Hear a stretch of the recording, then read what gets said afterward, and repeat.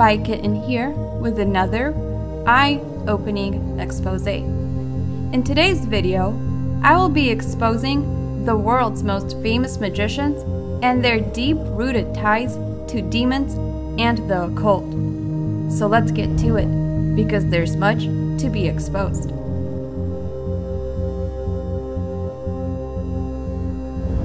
See how to actually, can actually see it.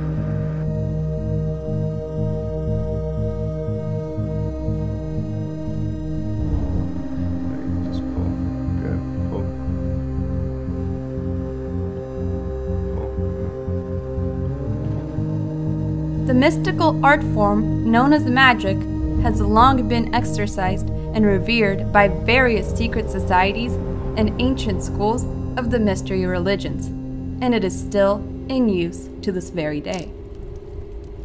To the true practitioners of this craft, the embodiment of magic is in fact very real and is very different from the conventional and commercial sleight of hand and stage magic that we are all used to seeing today.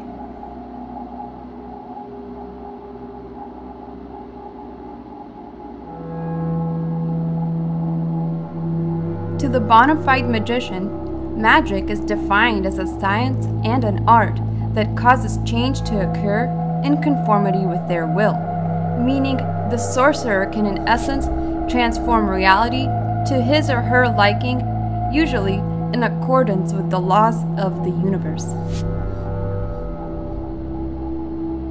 But many magicians, specifically those who belong to secret societies such as the Illuminati or the Golden Dawn, often seek to break these very laws of the universe by calling on demons and other diabolical entities to assist them in this devious art form known as black magic.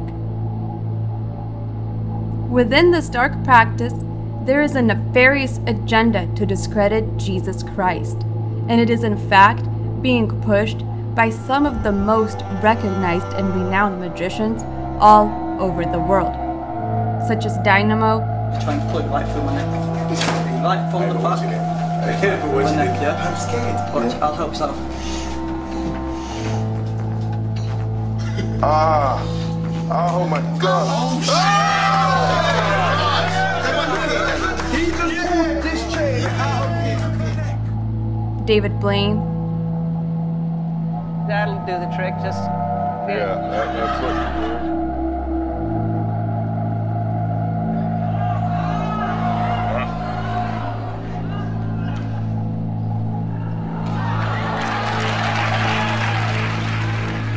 Yif, and many others.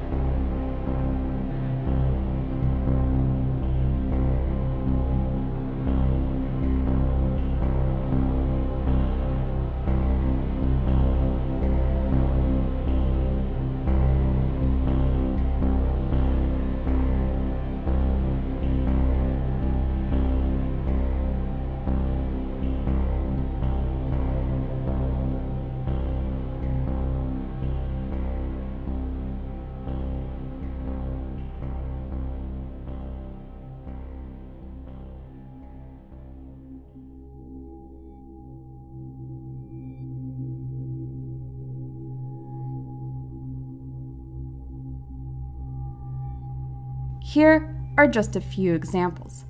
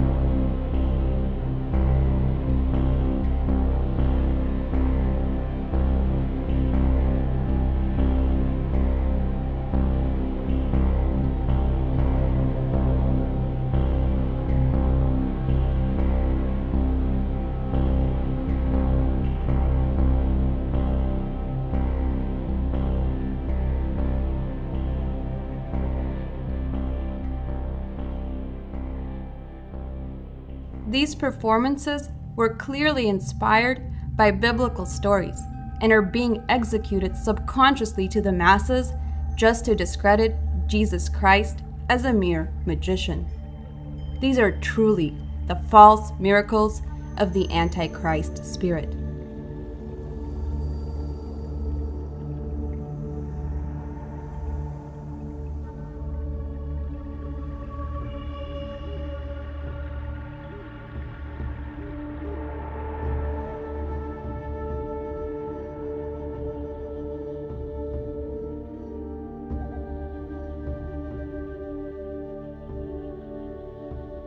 Now, the most dangerous form of black magic is the scientific perversion of occult power, such as breaking the laws of physics or biology for the gratification of personal desire.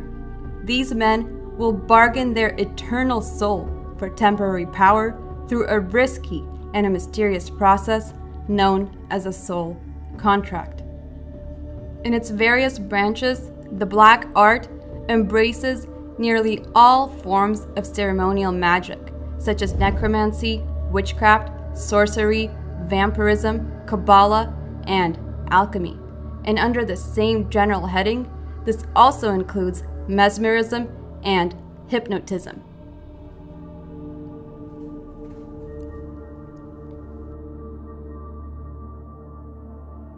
There are some crucial factors that these magicians have truly mastered concerning the theory and practice of black magic. What? This, this, this, that's mental. See how it really looks? So, sorry, David, seriously. Ha, this isn't a trick. You're just sticking a needle through your arm. What are you doing? See how it looks? That's horrible. Pull it. Oh, oh me! I don't understand. Pull. Pull. Oh, David, what have you Oh. done? Are you a maniac? Oh. This is real. Sorry, this is real. That's real. That's not a trick. There's no blood. That's the one thing that doesn't make any sense.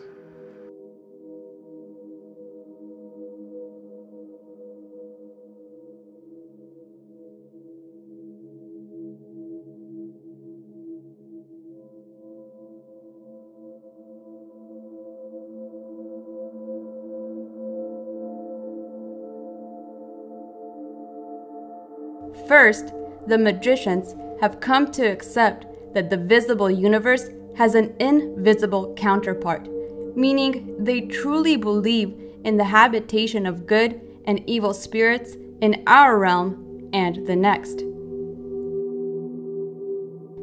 Second, by means of the secret processes of black magic, it is possible to contact these invisible entities and gain their help in some human undertaking.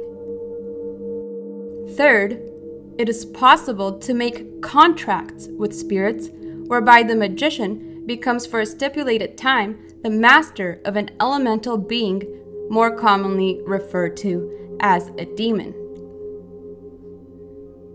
And fourth, true black magic is performed with the aid of a demonic spirit who serves the sorcerer for the length of his early life with the understanding that after death, the magician shall become the servant of his own demon. For this very reason, a black magician will go to inconceivable ends to prolong his physical life. And in fact, many a magician has lost his life as the result of trusting these demonic creatures during dangerous stunts.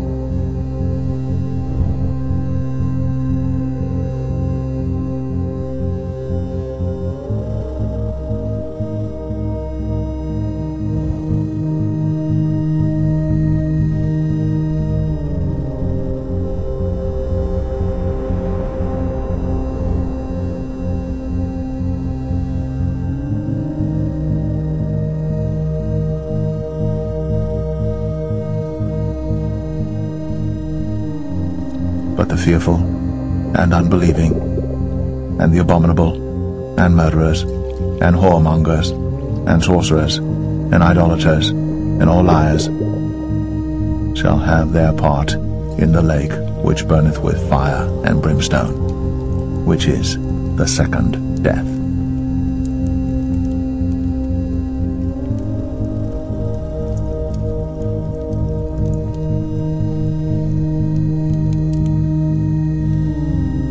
God bless each and every one of you. I hope you enjoyed this eye opening expose. This was a Spy Kitten approved message. Comment, like, and subscribe for more content.